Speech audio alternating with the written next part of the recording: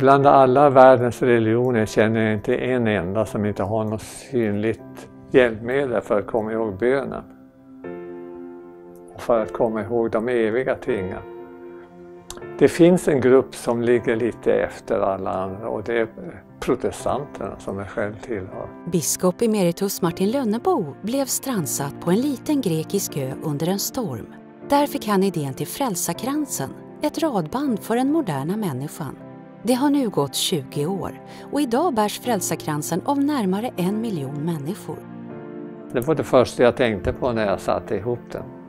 Att jag skulle hjälpa människor att klara de svåraste hindren. De yngsta ådrorna i, i, i, min, i mitt väsen, 0 till 15 år ungefär, de som hade lekt så mycket i Storsjöträsk. Jag tänkte det skulle vara trevligt med, med båtluftning som unga nu håller på med så mycket. Och var skulle jag fara? Eh, ner till, eh, till Medelhavet naturligtvis. Och östra Medelhavet, Grekland. Jag hade hamnat på en liten eh, fiskebåt och så blev det en ordentlig storm och fiskebåten Eh, styrdes av en man som såg ut som Odysseus. Och han skrattade hela tiden när det slog över, det gjorde jag också. Så hamnade vi på en liten ö där det bodde 47 personer. Och där gick prästen omkring och han gnolade och sjöng och han hade ett, ett radband eh, av, av eh, ylle så att det inte skulle skramla så mycket. Och där föddes Frälsarkrans. Jag tar och gör ett, ett radband, ett ekumeniskt sådant. Och det satt jag och ritade ihop men det blev så långt, jag tyckte det såg ut som en snara. Så då tänkte jag ta bara det som behövs, Gudspärlan av mässing. Men å andra sidan tänkte jag, Gud vill också ha sällskap. Det är därför det finns så gott om änglar. Jag tänkte när jag hade ritat det här radbandet färdigt. Det, det, såg ut som, som en krans och jag tänkte frälsarkrans är ju ganska bra. Det, det har två betydelser. Dels betyder räddningskrans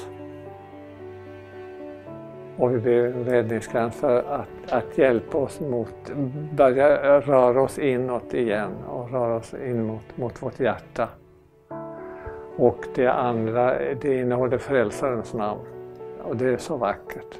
Förmodligen var det så att frälsarkransen hängde på, på, på hjärtats dörr eller hemma hos mig genom, eh, genom mitt liv och min fostran. Det var bara eh, gestaltat ett slags evigt mönster.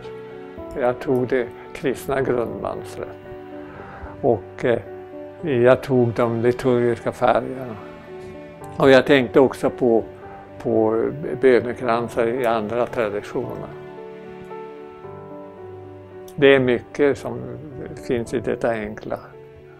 Frälsarkransen bemöter framför allt den moderna människans eh, oerhörda ensamhet.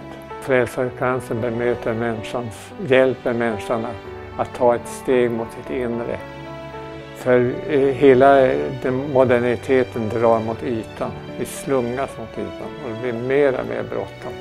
Och det blir mer ytligt och det blir mer oväsen och det blir mer och mer skrikigt.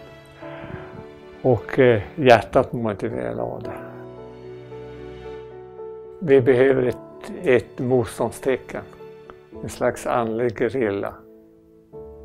Eh, vi ger inte upp, vi tror fortfarande på själen. Vi tror på Gud, vi tror på meningen med universum, vi tror på ansvar. Vårt stora projekt är inte att vi ska avskilja oss från allting annat och bara bygga upp vårt, vårt jag. Jag är inte projektet. Vi, det stora hela, det är projektet. Och att vara tillhörig, det är den djupaste längtan människan har. Och så bara tystnaden skiljer oss från Gud. Och då förstår man att det är väldigt viktigt att vara människa och vara en levande varelse bland annat levande varelser.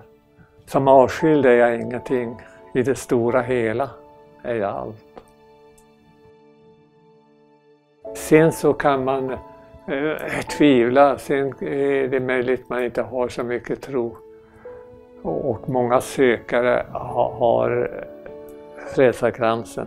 Och Frälsarkransen det är en väldigt bra vän, för den säger ingenting.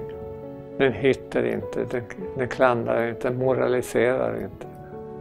Utan den finns i hand om man behöver. Så småningom, man behöver inte vara rädd. Så småningom kan man finna att det finns en dunkel mening som jag kan ta till mig. Det känns bra.